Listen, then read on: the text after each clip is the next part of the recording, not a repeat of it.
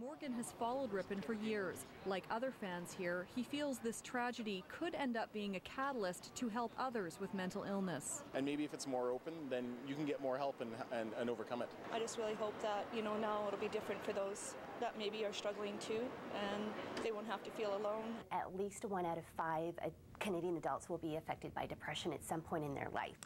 Dr. Joti Samra says there isn't always a specific trigger, a frustration, which can add to a person's struggle. They'll have this perception that on the outside life looks good or may even look great, um, and then will find it very difficult to reconcile in their minds why they're feeling a certain way. Michael Schratter has suffered from depression. He's also experienced the stigma associated with the illness. At the time, um, I was advised to sort of keep this sort of thing quiet, to not talk about it.